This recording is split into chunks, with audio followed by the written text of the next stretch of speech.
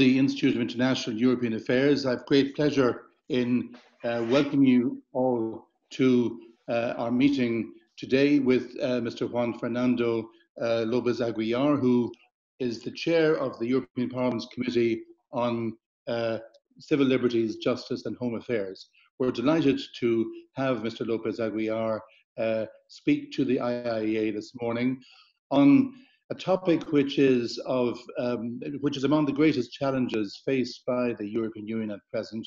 That is how to how to bring about and to shape a humane uh, migration and asylum policy for the European Union. Um, a challenge which is exacerbated by the particular pressures uh, surrounding the COVID 19 uh, pandemic and um, the the predicament in which migrants and refugees find themselves as a result. Um, Mr. Lopez Aguilar uh, has been a member of the European Parliament since uh, 2000. He's a distinguished former Minister for Justice of Spain and uh, head of the Spanish Socialist Workers' Party in the Canary Islands.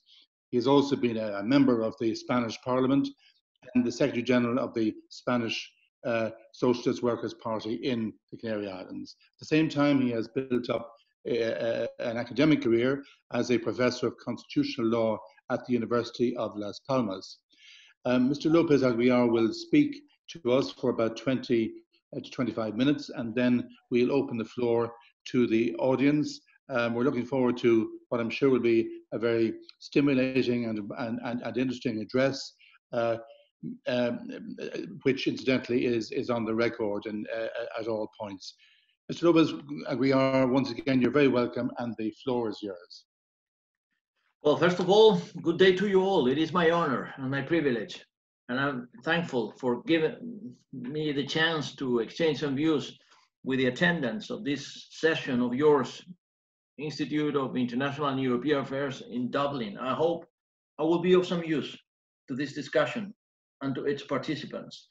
Yes, I'm a professor of law by training. I've been in the European Parliament ever since the Lisbon Treaty entered into force, actually 2009, 2009, uh, after having served in the Spanish government as Minister of Justice. I moved to the European Parliament and have chaired the Committee of Liberties, Justice and Home Affairs, which by the way is the busiest committee in the House, the widest legislative scope and the committee which best expresses the lawmaking dimension of the European Parliament ever since the Lisbon Treaty entered into force. So, if you allow me, I will be speaking for, let's say, some. Do you do you see me? Yes. Yes. Yes. Okay. Because uh, I will be speaking, let's say, for 10, 15 minutes, no more than that, so that I can open as room as possible for the discussion, so that we may exchange views and I can take questions and answers, if you will. Okay, so let's get started. The first point I wanted to make is that precisely the Lisbon Treaty entered into force in coincidence with my landing in the European Parliament 2009, along with the Charter of Fundamental Rights. And with the Lisbon Treaty came along the European Area for Liberty, Justice and Security, which is Articles 67 to 89 from the Treaty of Functioning of the European Union. And in that space, European space for liberty, justice, and security, you see that many competences that were long the realm of the member states, the sovereignty of the member states, are now the domain of the European Union competence, including migration and asylum for a long time, migration and asylum were conceived to be a, a, core issue for the sovereignty of the member states. No longer. Now they are European Union competence, both for policy making and both and, and law making. And we in the European Parliament, we have grown up to become a true parliament, a true law-making body in which we do make laws on the matter. So the second point I want to make is that according to the Lisbon Treaty, we have adopted laws on migration and asylum. And we have done from the European Parliament side our best to build up a truly European common asylum system and a common migration policy and legislation. So we adopted in the first mandate in which I chaired the Libe Committee 2009-2014, the so-called migration package, along with the Schengen package, which is the uh, set of uh, pieces of legislation which secure free movement within the Schengen area and a common management of the external borders of the European Union and an asylum package. The migration package is, is an array of pieces of legislation. We adopted before I came to the European Parliament, that was in 2008, the so-called return directive. But along with the return directive, we have set forth a number of pieces of legislation trying to create some ground for legal entry and legal migration to the European Union, including the uh, single permit directive, including the posted workers directive, including the seasonal workers directive, which are of the essence for many countries, particularly in the agricultural sector, including the blue card directive, so that qualified workers from abroad may enter regularly into the European Union, including the Schengen Borders Code, including the European Visa Code, of which I happen to be a rapporteur myself, too, which sets a common policy to enter the territory of the European Union, along with the so-called interoperability package, which make sure that all of the data at disposal of the visa information system and Schengen information system and ETIAS and entry-exit system are compatible and they may be shared among the member states, sharing the area of liberties, justice, and security. But we also adopted a so-called asylum package in all, including, of course, the agency, the special agency, which helps the states to handle asylum uh, demands uh, into the European Union, which is the so-called EASO, the agency for uh, for um, um, uh, supporting the asylum system, and the Dublin regulation, which is the regulation, which is a European law binding for the member states, which sets the responsibility to handle the asylum requests and to uh, handle the social services and protection, which is entailed by the grant of a, of a refugee statute. We also adopted the whole asylum array of pieces of legislation, including the qualifications directive, the common procedure directive, the receptions directive, and along with all that, we also established a so-called relocation program, which is binding for the member states, and resettlement program with the help of the UNHCR. So the third point I want to make is that there is no legislative void at all. There is law at sight. There is effective law, which has been enacted by the European Parliament as a true lawmaking body. We have made laws on the matter, and those laws are effective, in force, and they are binding for the member states. But the fourth point I want to make is that in coincidence with the entry into force of the Lisbon Treaty and all this work that we have carried out throughout the years, the European Union has somehow submerged in itself into the worst serious series of crises ever in the European process history. We know that. There was the Great Recession. Wow, the worst crisis ever. Then there came the so-called migration crisis. Wow, the refugee crisis in the Mediterranean, but not only in the Mediterranean, Brexit, and now the COVID pandemic. So it's been a series of critical episodes in which the European Union has lost momentum. And you know what? There has been an increasing number of member states defying, challenging the European law, showing lack of political will to stand by the European principles in every possible way including the so-called illiberal regimes, which are under the so-called Article 7 procedure, which is also the competence of the committee chair, Committee of Liberties, Fundamental Rights, Justice and Home Affairs. And there have been an increasing number of countries which have been defying the legal the mandate of solidarity, binding solidarity and shared responsibility, both to handle migration fluxes, external borders of the European Union, and asylum seekers' requests and refugee statute within the European Union. So we have seen an increasing number of infringement procedures dealing with the contempt towards European law that have, uh, has been shown by a number of uh, member states of the European Union and a number of rulings of the European Court of Justice condemning the violations of European law by an increasing number of member states regarding both migration and asylum legislation. And that is why we have come to a, some kind of a deadlock. We have seen that increasingly so, both migration uh, package and asylum package need to be reviewed and updated, but not to step backwards, not to make it in the in the in the wrong direction, but in, in the view of the committee chair, precisely to refine the legal instruments at site so that everybody knows which are the rules of the game. But making sure that the mandates of binding solidarity and shared responsibility, which are enshrined literally in Article 80 of the Treaty of Functioning of the European Union, are fully respected by all of the member states. Then there came the UN big global pact on migration and asylum adopted by the UN uh, General Assembly special conference in 2018. And then came the special conference on migration and asylum convened in Geneva with the participation of the IOM, UNHCR, and also the European institutions, including the European Parliament in the delegation that I chaired, December 2019.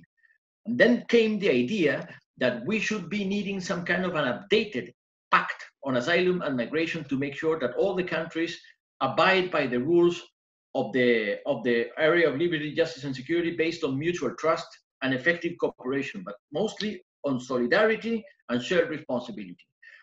So President von der Leyen, on her way to be invested by the vote of the European Parliament, which she did, promised that she would deliver a new pact on asylum and migration.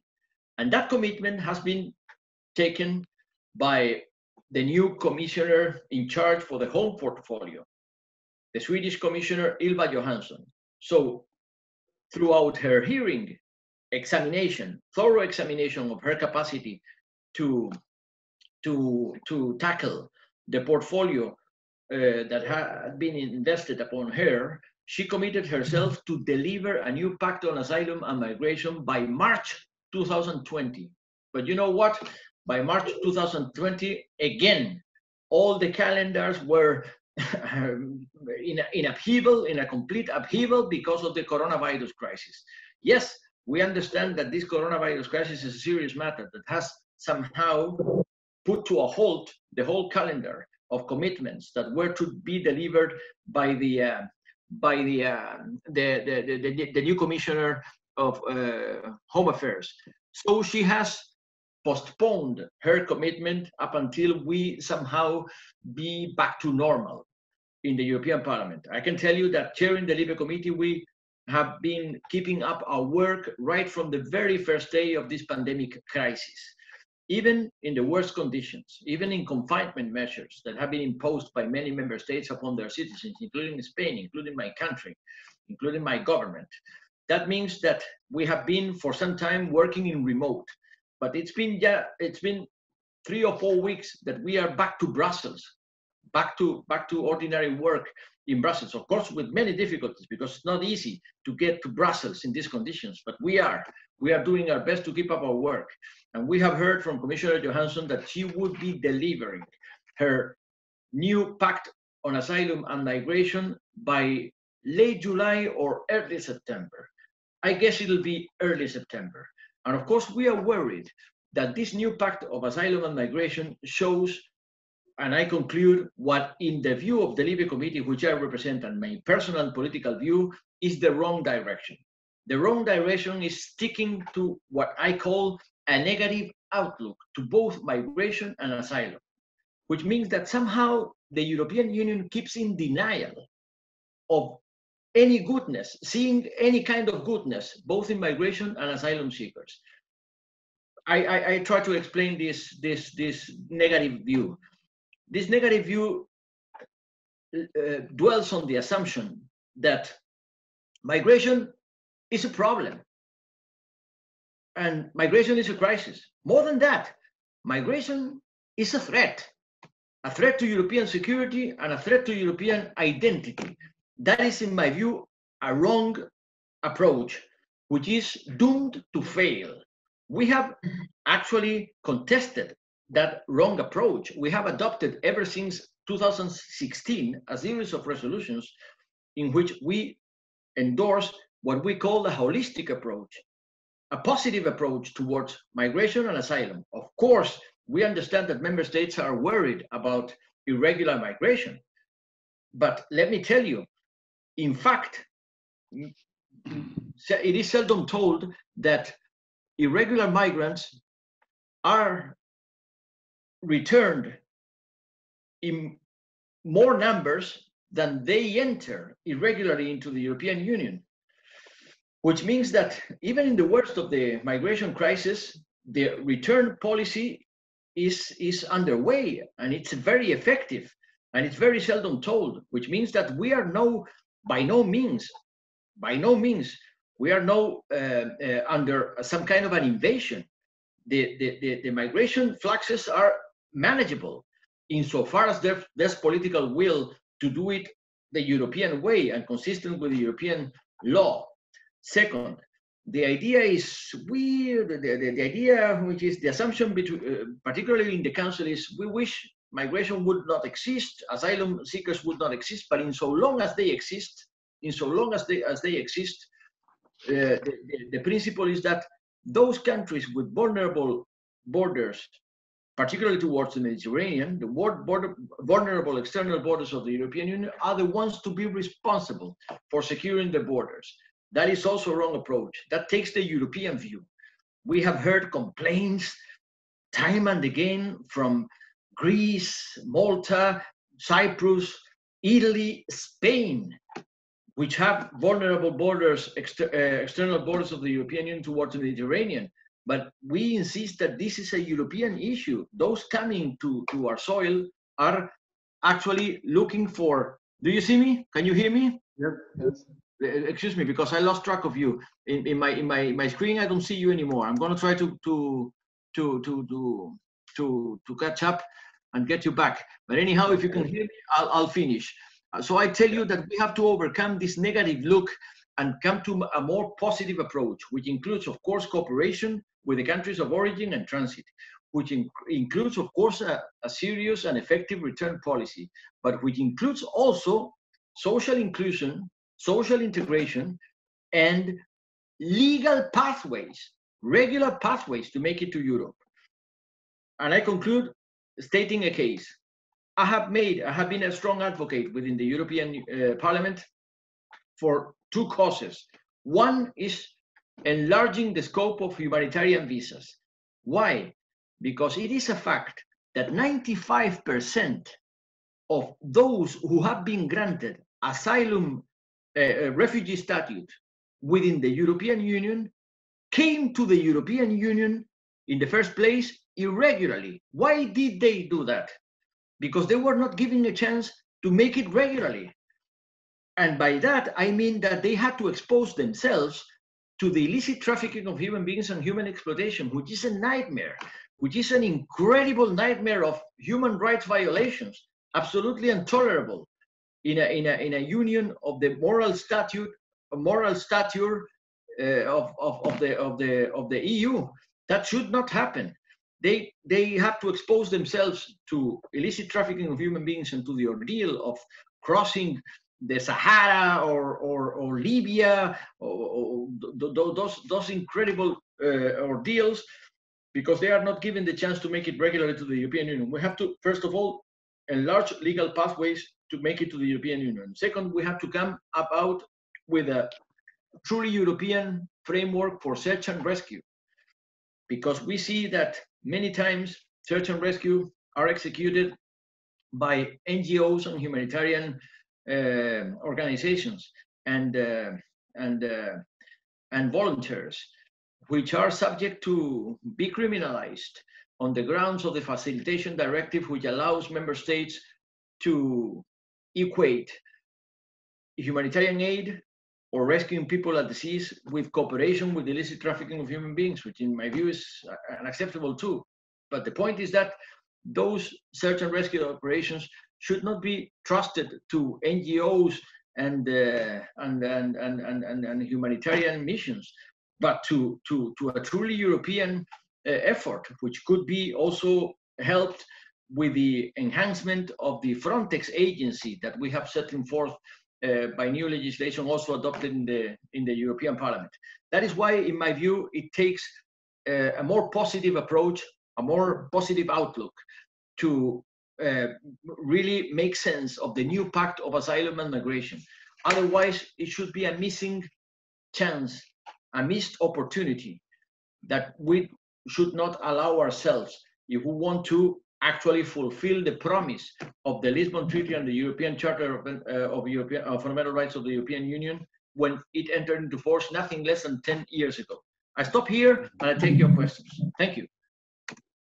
Well, thank you very much, Mr. Lopez Aguilar. I have to say, I found that a very uh, uh, impressive and, and, passionate presentation. Um, just on a personal note, uh, I should say that much of what you said resonated with me because um, in 2016, the UN General Assembly adopted um, the so-called New York Declaration on migrants and refugees, and I happened to be the the co-facilitator uh, uh, of that negotiation uh, as the Irish ambassador. And one of the things that we were trying to do was to ensure that the positive dimension of migration was accepted worldwide. Uh, I would have to pay a small tribute, by the way, to Peter Sutherland, one of our compatriots, who, as the UN Special Representative for Migration over 10 years, insisted that migration had to be seen as a positive opportunity. And in a sense, I, I followed in Peter's footsteps by getting that sentiment uh, agreed as part of the New York Declaration.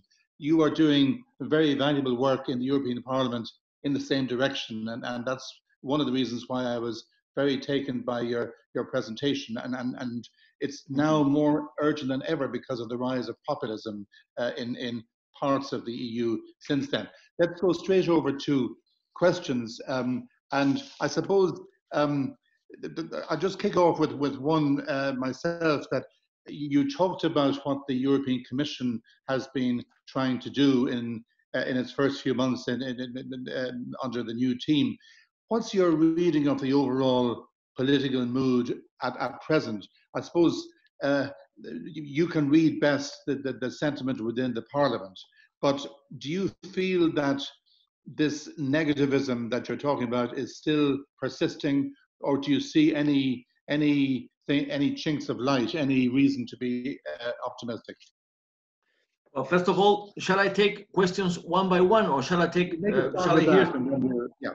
Okay, if, if you allow me, I'll do this first one, and then I'll take some yeah. some some questions. I'll take note, and then I'll try to summarize my my reaction towards the, the the points that I might uh, hear to to to hear or or to or to respond to.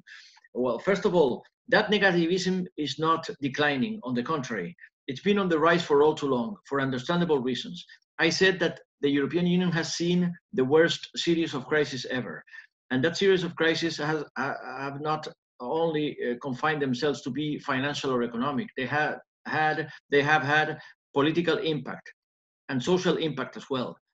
Uh, inequalities on the rise, distrust have amounted to uh, a, a rise of Europhobic trends nationalistic and reactionary uh, uh, moves and platforms that have taken advantage of the malaise of the uh, of this uh, um, um, sense of uh, dissatisfaction with the status quo and the kind of answers that were provided by the European Union uh, institutions, particularly throughout the Great Recession.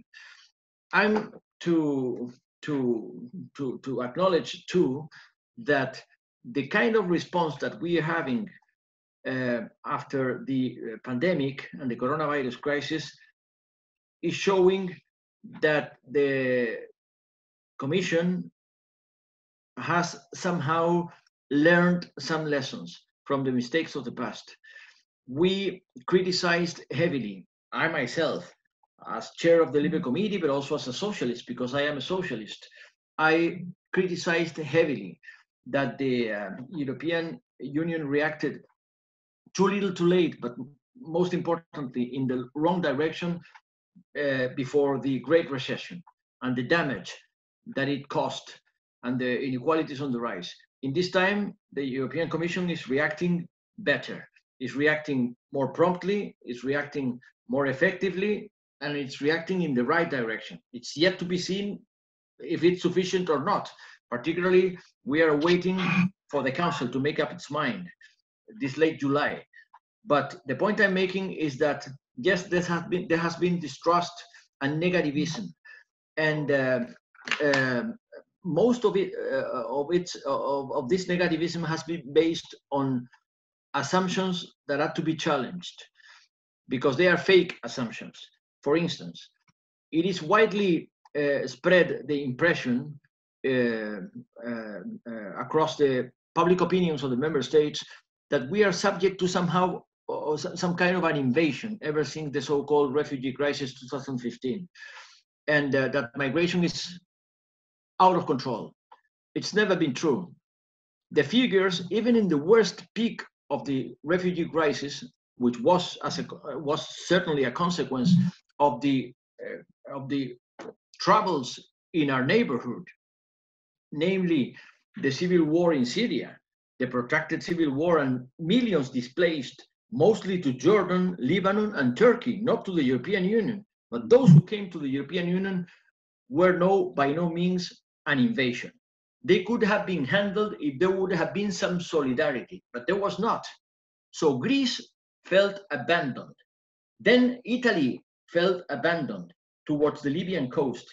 And the reaction has been there. The reaction has been a rise of populistic trends, including a change of guard in the Italian government in which Salvini, extreme right, nationalistic reactionary, uh, um, somehow interpreted that feeling of many Italians that they had been abandoned and uh, uh, the rest of the member states were turning a blind eye towards the, the, the influxes coming to, to the Italian islands, Aeolic Islands, or Sicily, or Sicily, or Naples uh, from, from, from Libya. Uh, so that negative trend is, is still there. It has to be tackled with leadership. And we urge the Commission to play its guiding role, not to simply hear from the member states that they're not willing to, to cooperate and then come with a minimum common denominator kind of proposal. We want, on the contrary, the Commission to show ambition, to show leadership, to show guidance, of course, understanding that the member states are reluctant. Some member states are particularly reluctant, but also facing those member states which are not only denying any solidarity towards those who have external borders toward the Mediterranean, namely the so-called Visegrad group, mostly Hungary, Poland, and the Czech Republic, and and uh, uh, draw, the consequences of, of that guiding role and leadership, including not only infringement procedures, but also minorizing those countries in the Council. We have uh, complained many times that the Council has uh, taken on the assumption that its decision should be made by consensus, meaning unanimity. unanimity.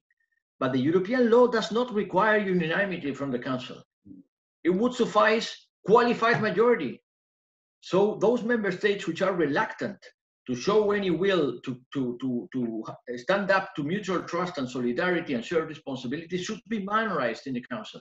And for that, it takes a commission which takes also its, its guiding role. And of course, negative attitudes are also expressed within the European Parliament, increasingly so because there has been an increase of extreme right, nationalistic, and Europhobic seats within the European Parliament in the last two elections. And in this particular mandate of the European Parliament, the numbers are high, but they can still be minorized by a pro-European majority, both in the LIBE committee and in the plenary. Of course, it'll take the mm-hmm. cooperation between the EPP, which is the first group, the largest group, the S&D, I'm a socialist, the second group, Renew, the liberals, third group, but also Greens, and at times, at times, GUE, which are more pro-European than the extreme right and the nationalists, the, the, the, the, the so-called uh, United Left, so that we can build up a majority which can inspire uh, an asylum pact on uh, a, uh, a, new asylum and migration pact which is more consistent with European values, with European law, which I insist is effective by now. There is no legis legislative void that needs to be filled in. Maybe we may update it, but there is no legislative void, and with humanitarian law, which is binding in the seas, because there is also international humanitarian law which is violated all much too often, particularly when closing harbors to search and rescue operations. That is illegal in international law, and it's good that it's told, that it's said, that it's outspoken vocally. That's what I do in the LIBE committee. Thank you. Now we hear the rest of the questions. Okay. Um, thank you very much. Um, uh, I mean, you've you've set out the um, the, um, the, the challenges very very clearly, um, uh, in, and I think we all hope that it'll be possible for the uh, European Commission to and and the Parliament to help to stimulate a consensus uh, uh, on the new pact. So, just turning to some of the questions. Um, first of all, uh, a question generally about the, um, uh, the, the role of the African Union in in in terms of uh, promoting uh, more legal pathways for people to come to the EU and also in curbing irregular migration flows. How do you see the, the partnership with the African Union? And I suppose generally, uh, more, more generally, do you see a, a risk that the let, us call it the delay of a few years that we've had in in in, in updating the um, the union's migration asylum policy. Is there a risk that that that will uh, or is already affecting partnership relationships with uh, our partners in Africa? Um, I mean, are, are they coming to doubt perhaps uh, European sincerity on all of these issues? A third question I just add in is Libya. Do you do you feel that um, specifically, uh, um, or how would you like to see the new pact deal with Libya, with the Libyan search and rescue area, and the allegations of human rights abuses there? So if that's not too much, uh, I, will invite you to address those. Okay, thank you. Thank you for the questions. Very interesting. I'll try to summarize. First of all, it must be said that there is an internal dimension of the asylum and migration policy and lawmaking in the European Union, which points out to the responsibilities of the member states to abide by European law. But there is also an external dimension, which takes a lot of European Union going global and behaving as a global actor worth of its name that is, in my view, the challenge of the European diplomacy, the European External Action Services, which are headed by, everybody know, the so-called High Representative, which is also Vice President of the Commission and which is also chairing the Council of General Affairs. That means the Council of International Relations or Foreign Policy uh, when, when, when it comes to the gathering of member states' foreign ministers. That is Pepe Borrell, the Spanish guy in charge by now. First, it was, we, we, we know, uh, uh, before him, it was Federica Mogherini. And, uh, um, well, we have been rehearsing the capacities of the European Union to engage with the African Union, which is uh, uh, sitting in, in, in its uh, quarters in Ethiopia, Addis Abeba. I think it is most interesting that we do our best to get the cooperation of the countries which are also being part of this experience of uh, uh, combining energies uh, to to to secure uh, fruitful and constructive interlocution with the rest of the global actors, including the European Union.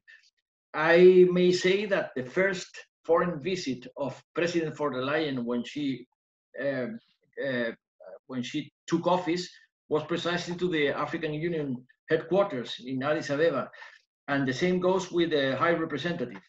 So we're taking seriously Africa. It is increasingly the great the great interlocutor for the European Union, increasingly so.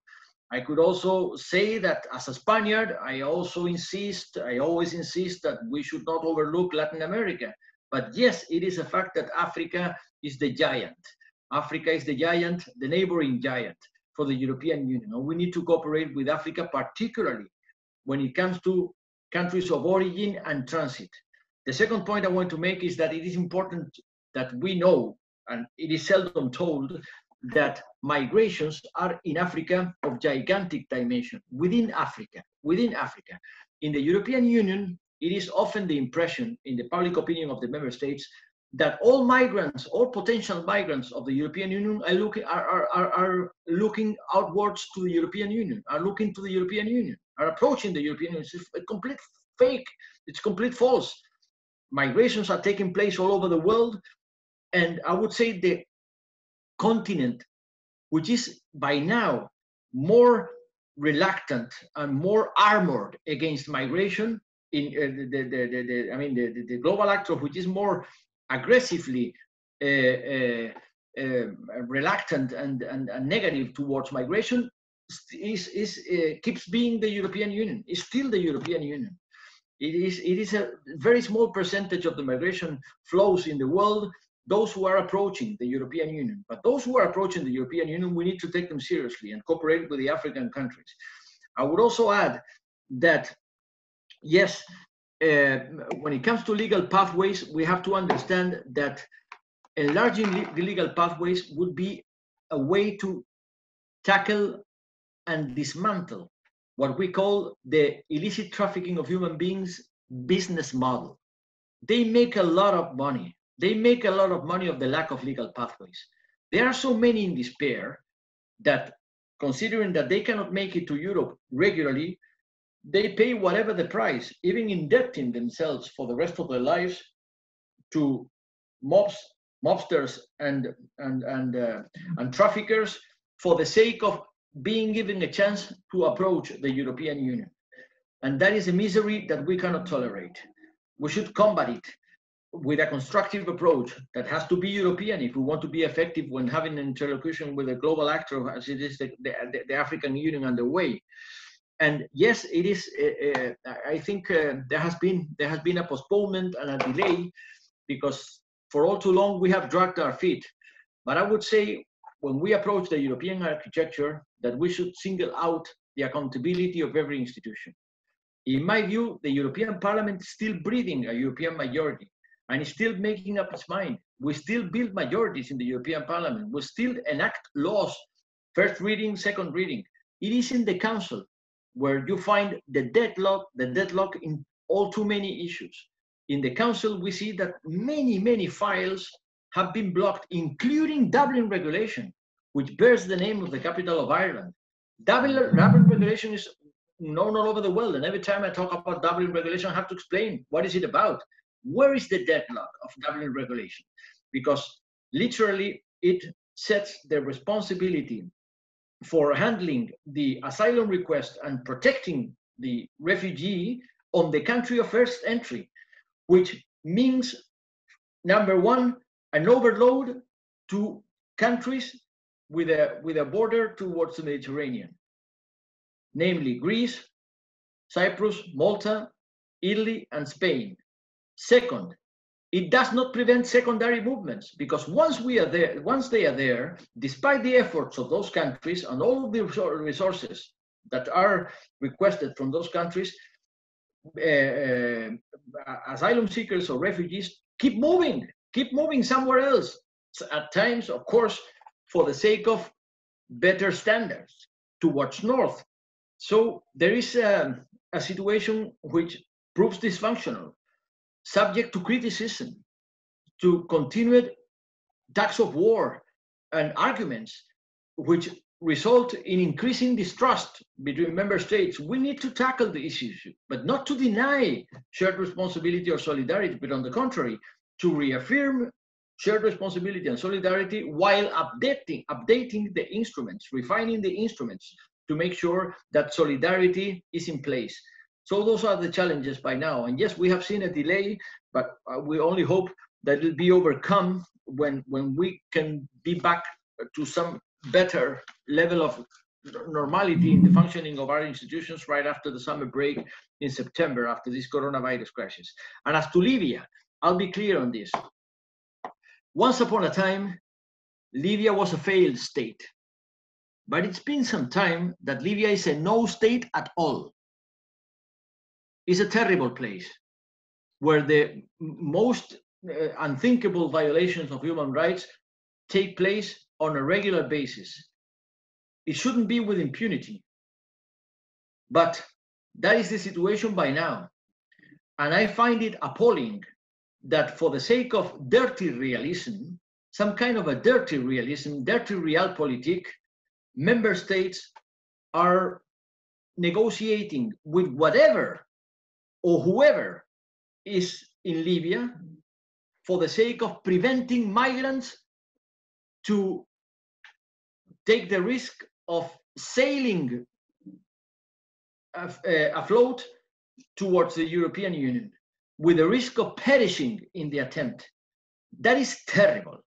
The the uh, the uh, concentration camps in in Libya, the the the kind of facilities in which um, uh, those coming from from sub-Saharan Africa approaching the Libyan coast are detained and subject to uh, unbearable human rights violations, including abuses of women and children, terrible abuses of women and children, cannot be overlooked indefinitely by the European Union.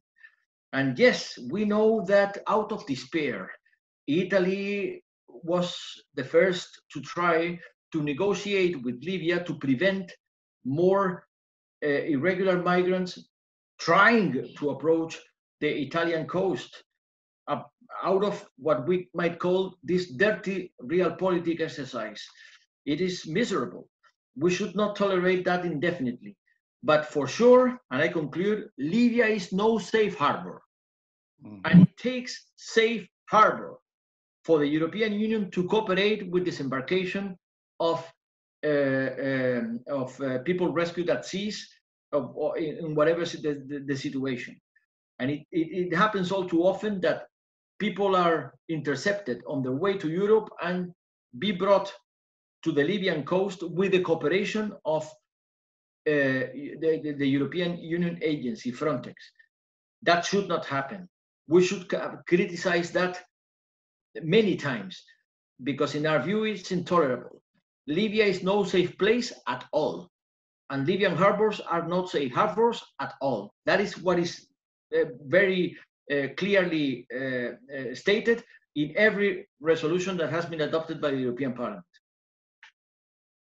Thank you very much, Mr. Lopez Aguilar. Um, uh, I'll pass on now, if I may, three further questions, which I think are linked. Uh, one from a colleague in, in one of our universities in Dublin, Dublin City University, is really about the issue of European values. I mean, you touched on that at one point. Can one really talk about moving towards uh, uh, or having common European values when certain member states, uh, and I think we all know the names, um, are, are showing hostility towards towards migration, um, towards inward migration. And, and a, a related question would be the rule of law. How should we react to the fact that um, there are threats to the rule of law um, uh, from uh, such member states? Um, and then, thirdly, perhaps in a more positive vein, do you think that Germany, uh, as presidency of the Council, will have a better chance of unlocking, of, of, of um, overcoming the deadlock on the council that you were talking about? Yeah, that's a good set of questions, too. I thank you for that. First of all, values of the essence. I have said it a million times. The European Union is not the euro. The European Union is not the single market. The European Union is a union of law. And law take principles and values. And you know what? They are enshrined. Once they were somehow vaguely defined by the rulings of the European Court of Justice, but now they have been put in writing. Article 2 of the Treaty of the European Union. What once were called the so-called Copenhagen criteria are now European constitutional values, namely rule of law, representative democracy, equality under the law, separation of powers, which include judicial protection of fundamental rights, pluralism, political pluralism, protection of minorities, which means the guarantee of the function of the opposition, which means that I, as chair of the Committee of Fundamental Rights, Liberties and Justice and Home Affairs of the European Parliament, I have presided a number of delegations to what we call the, what they call themselves, illiberal regimes. But you know what? Those illiberal regimes, namely, namely Hungary and Poland, subscribed to the Treaty of Lisbon so that it entered into force. And now they are bound to those values. They are bound to the Treaty of Lisbon. They are bound to the Charter of Fundamental Rights, which came along with the Lisbon Treaty. So they cannot simply violate those values and get away with it. And in our view, in the view of the Libe Committee, they violate those values when they equate democracy with the rule of majority. Democracy is not simply ruling by law, laws enacted by a majority in parliament. Democracy is rule of law, which means that no one is allowed to break the law, not even a, a parliamentary majority. When there is a constitution and where there are constitutional values that are enshrined in the European law. And democracy has never been simply the rule of majority. Democracy means protecting minorities, and that is also put in writing in Article 2 of the Treaty of the European Union. So we do care about those regressions, those constitutional breakdowns that have been taking both uh, place in, in, in, both member states. I insist, I, I underline, member states of the European Union, Hungary and Poland. That is why from the European Parliament, we launched Article 7 procedure, which is the device at, the, at, at, at, at disposal, which is device at our hand. Of course, it is cumbersome, the procedure. We adopted both the initiative in Hungary and Poland with two-thirds majority of the European Parliament. Not easy. That wasn't easy. It took us a long way, a lot of negotiations. And of course, it took a series of, of, of, of very grave indications of violating European Union values from those member states. It took us much hearing of the authorities of those countries. I have I have been in both countries. Of course, I have had talks with their prime ministers, with the ministers of justice. But yet, we, we, we have seen that there have been a, a number of laws enacted by parliaments of those countries, which are being uh, subject to the rulings of the European Court of Justice, and yet those countries keep uh, uh, in, con in contempt of the rulings of the European Court of Justice. That shouldn't happen. That is why we insist from the Council that they should take on the Article 7 procedure that we and the European Parliament have set in motion. That is our response, and it is a serious matter, a very serious matter, that we see that there are countries which are in denial of fundamental principles of, of, of European law, including, in this regard, of the area of liberty, justice, and security, any responsibility and any solidarity with those countries which are overloaded with hotspots or uh, uh, migration fluxes or asylum seekers. For instance, everybody knows that there were decisions being taken by the Council in order to relocate those which are overloading the capacities of certain hotspots in the Greek islands, namely Samos and, uh, and uh, Lesbos, and uh, at times in Italy too. And these countries were subject to a procedure before the European Court of Justice, and the European Court of Justice stated that they had violated the European law by denying denying any any uh, solidarity in their relocation programs and not accepting uh, uh, uh, migrants or asylum seekers coming from the hotspots of the overloaded capacities of the countries I've mentioned. So that is a serious existential challenge for the for the European Union, and we should not over underestimate the importance of that existential challenge. It is miserable that we keep hearing the testimonies of journalists being harassed, uh, uh, judges that have been removed from their positions under the, the, the, preposterous allegation that they are some kind of a heritage of the communist regime that they should be purged for the sake of the sanity of the Polish judicial system, let alone talk, let alone talk of the so-called LGBT-free zones in Poland, which is obnoxious, which is completely against European law, which forbids discrimination of people on the basis of their sexual orientation. That denial of European values should not be underestimated. In my view, they pose a serious existential challenge of the European Union. And as to Germany, yes, it's a veteran, it's a heavyweight. Well, we have seen, because that's the, that's the dynamic of the European architecture, we have seen a number of small member states of the European Union exercising their rotating presidency for the first time ever. We come from the Croatian presidency now. Croatia is the latest comer to the European Union. It entered into the European Union as number 28 by then uh, in 2013, the other day, yesterday, yesterday evening, so, so to say. But Germany, Germany is a founding member state. It's the heavyweight. So we, we expect from Germany a certain energy to tackle, to take on pending files, deadlocks, and riddle them, put some energy to get them going, and some influence to, to, to, to, to break deals when necessary. Yes. And if I may say, I have written its program because every rotating presidency comes out with a certain uh, written declarations of their ambitions, and it's it's quite quite large, quite quite quite significant, and it includes a very explicit chapter of rule of law, a very explicit chapter chapter regarding Article 7 procedures, which in my view is meaningful.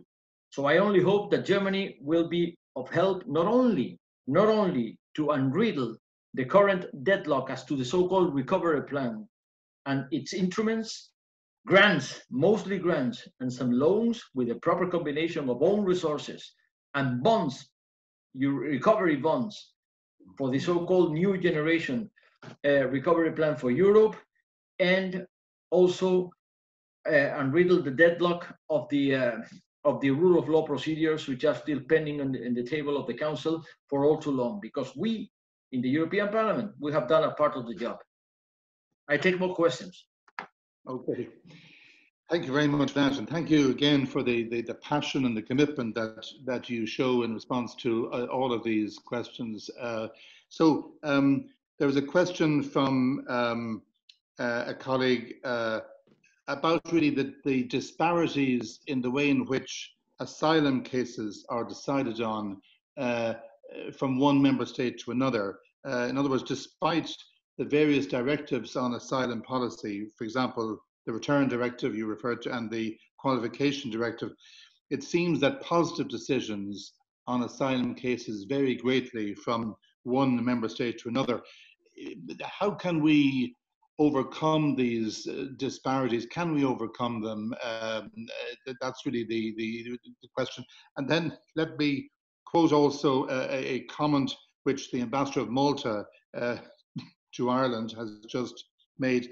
And it really goes back to what you were saying a moment ago, uh, Juan Fernando, about um, uh, uh, the the uh, unfair burdens carried within the EU. So the ambassador makes the point that um, Malta has received over 22,000 uh, migrants and asylum seekers since 2005, of whom only 8% have been relocated to EU countries.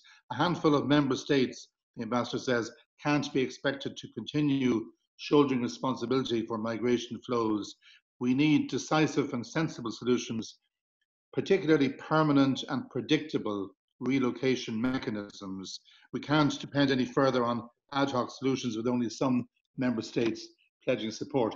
You'll be familiar with those um, sentiments, but uh, if you could come back on the uh, uh, um, asylum cases, that would be very interesting. That's probably all we have time for because I, I, I know that you have another commitment to, to go to. Thank you again for the questions. Most interesting. Of course, I thank all the participants and I thank all the attention that uh, might be uh, given to, to these issues which are sensitive and divisive. Uh, I could start out each and every one of my answers by saying, we're talking, now we're talking. Of course, these serious matter and they, they, they are open problems. So let me tell you that whenever I, I am part of this kind of conversation, I, I feel like saying, hey, listen, your concerns are my concerns. Your sensitiveness is my sensitiveness and your your your your your disarray, your your dismay before the status quo as it stands by now is my dismay. I'm also unhappy about the situation. I'm a fighter. I'm, I'm, I'm, I'm, I'm not here not only to provide an analysis. I, I, I am here to, to, to put up a fight on, on these sensitive issues and to, and to take a side because they are divisive. I tell you, in the European Union, there their speeches and, and their attitudes, which are very confrontational on these delicate matters. And I understand that. But having said this, you have dwelt on points which are now precisely subject to discussion into this ex exact point of time. Disparities. Despite the effective law that we have adopted, it is a fact that there are many disparities into the member states' behavior. Some handle asylum seekers' requests with efficiency and uh, provide uh, sufficient level of protection, and some much more uh, mean towards the possibilities of the law, which is which is which is effective and which could be inspiring the kind of response. Uh, it depends largely on, on, on political will but we got to make sure that at least we have provided the legislative, uh, uh, uh, the pieces of legislation, the legislative framework, which uh, secures that there is a European common asylum system, which makes sense at the European level and does not simply rely on the political will of the different member states to do uh, this or that uh, in a certain degree of extensions or depth. You may see that particularly when it comes to receiving uh, people rescued in the seas. Uh, you have seen that all too long, the solution, particularly with the Malta Declaration, which was meaningful and it was appreciated by the European Union, we said it is a, it is a step in the, in the in the right direction. But is it enough? Is it sufficient? Is it acceptable as a, as a European response? The answer to those questions keeps being no because in the Malta Declaration, what it is behind, it is always some phone calls between member, between prime ministers, which come up with a certain level of compromise, a certain level of, of, of, of mutual assistance in the lack of a truly European kind of response.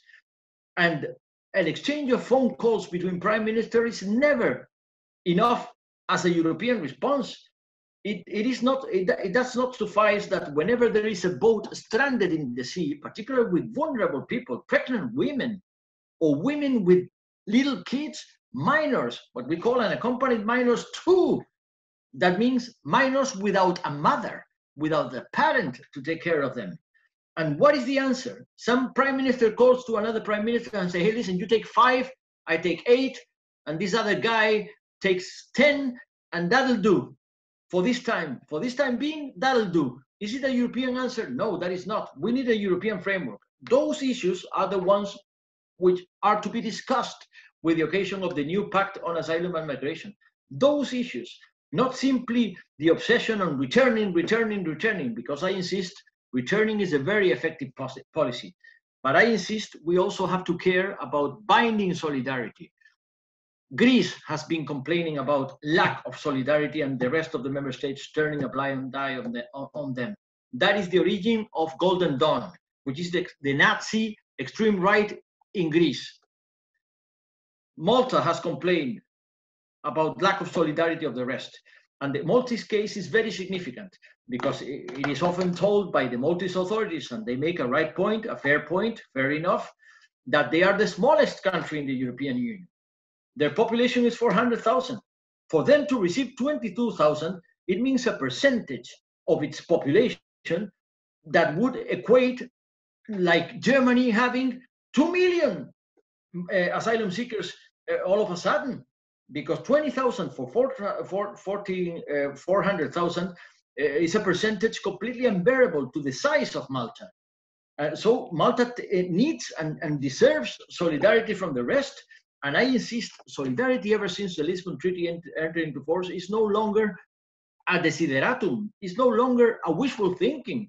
It's no longer, a, I wish it could happen. It is a binding mandate. It's a legal mandate enshrined by the law. So there has to be solidarity. No solidarity at all is not a legal choice. It's not a choice which is accordance in accordance in conformity with European law. On the contrary, it violates European law, denying all solidarity with Malta.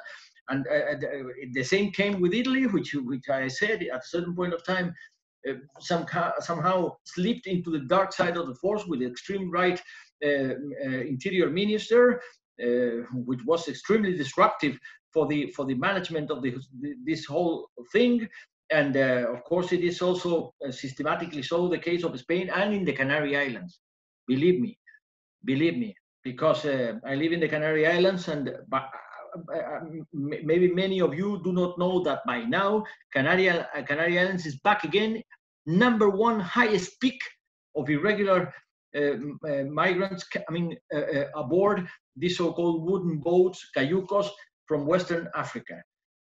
So we have a problem of lack of solidarity here. These are the issues that are to be dealt with with the occasion of the new uh, mig uh, Migration and Asylum Pact, because we are not happy with the status quo.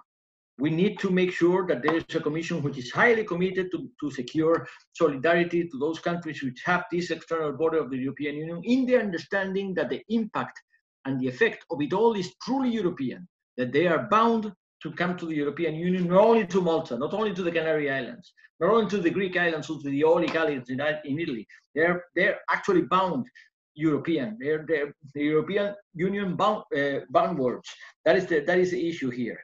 And then, of course, uh, when it comes to the, uh, to the uh, asylum fluxes and, and inequalities, um, I, I, would simply add that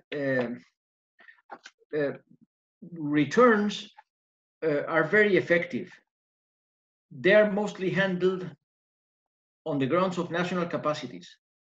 There are many flights that are hired precisely to return uh, irregular migrants uh, from, from, from different member states, sometimes with the cooperation of Frontex, which is enlarging its capacity the so-called Frontex, which is now the European uh, External Border uh, and uh, Coast Guard Agency. But in all, um, it, it, is, it is a fact that secure a, a European common asylum system overseen by the agency, EASO agency, and uh, with with uh, with a true European will will take a new political cycle. And I only hope that this commission understand the problem, understands the problem right, gets the problem right, and does its very best to persuade those member states which are reluctant to, to, to, to be part of this European system framework and answer that they have to move in the, in the right direction. And still, enlarging the, the, the, the, the possibilities of uh, those who are truly entitled to refugee state status according to to international humanitarian law and to the qualifications directive to be part of the European social fabric, to be given the chance to, to, to, to, to settle in the European Union and to be part and to contribute to the European diversity and wealth in every possible way. That takes, in my view, also a financial support. From the European Union, we have done our best to increase the budgeting in this regard. We have came forth with a number of instruments. A migration and asylum fund, so-called AMIF, and we have insisted that it has to be financed properly. An internal security fund, which is precisely to make sure that interoperability results in returns when they are needed. Although I insist that returns are more effective than than than than uh, than widely uh, than widely uh, seen. The, the, I, I usually come to the to the to the discussion just to check that many people think that there are no returns at all in Europe. That everybody who set foot sets foot on on on, on European soil is here for good. Not true. Many of them are returned effectively. But those instruments, including the Asylum and Migration and Internal Security Fund, should be a part of a new landscape in which we should be more consistent with the values and the principles that we have enshrined in European law. And I only wish that this opportunity, this chance of discussing a new asylum and migration pact, which is consistent with the, the, uh, the, the global and migration uh, and asylum pact, which was adopted by the UN declaration in December 2008 and uh, continued with the with the conference in Geneva 2019. Uh, this opportunity, this this chance will not be missed. That we will be delivering, because in my view there is nothing more threatening for the European Union, nothing more threatening, by far more threatening than the idea of migration or asylum out of control, by far more threatening than that. If there is something threatening, is the divorce between the European Union promise and its delivery. It is about time that we actually deliver with a truly European common migration and asylum system worth of its name. Uh, thank you. Thank you very much, Mr. Lopez. Uh, thank you for uh, a superb uh, tour d'horizon of, of, all the issues we're facing in relation to migration and asylum. Um, it's clear that a, a, humane new pact and new policy will be in safe hands in the European Parliament uh, uh, under your uh, under your watch, and we all look forward to a, a, an ambitious uh, um, outcome to what the Commission is, is, is trying to do at present. We hope that they will take your advice uh, uh, um, uh, to heart, and uh, we look forward to the right kind of pact emerging from that. Thank you for giving us your time. Thank you for your insights, your analysis, most of all for your passion and your conviction on all of these issues, which are central to the, the European values. Thanks very much. I hope we haven't detained you too long. We found it very rich and stimulating, and we hope we'll see you again sometime. Thank you very much indeed. It is me to thank you, the International and European Affairs Institute in Dublin. It is me to thank you for giving me this opportunity to talk to you and be of some help. That was my aim, to provide some European Parliament insight and of course state the case of the European Parliament, which in my view it is always of significance to clear out that within the European architecture, there are institutions. And there are some institutions which actually behave European. That is the case of the European Court of Justice. That is the case of the European Parliament. But it takes, in my view, it, takes some time to, to, to see the Council behaving truly European, not simply the sum of national governments, looking at the national interests, but also looking European, going European in the in the in the expression of their political will. But anyhow, my only aim was be of some use to this uh, to this gathering, and um, and I thank you. I truly thank you for that, and I only hope, as I said, that this occasion of us in this mandate of the European Parliament would be fruitful to deliver a new asylum and migration pact, which are not only humane, consistent with humanitarian and international and European law, but also effective, also effective, which is also uh, translated from words to acts. Thank you for that.